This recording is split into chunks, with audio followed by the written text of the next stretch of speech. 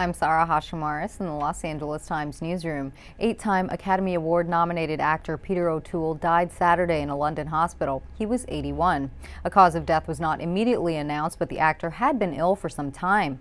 O'Toole, who gained global fame playing T.E. Lawrence in David Lean's 1962 epic Lawrence of Arabia, had a career that spanned more than 50 years.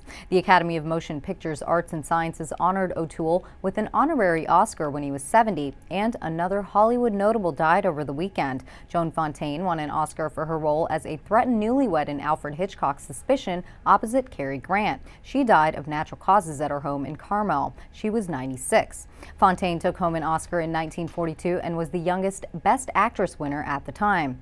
To learn more about the lives and careers of Peter O'Toole and Joan Fontaine, visit latimes.com slash obituaries.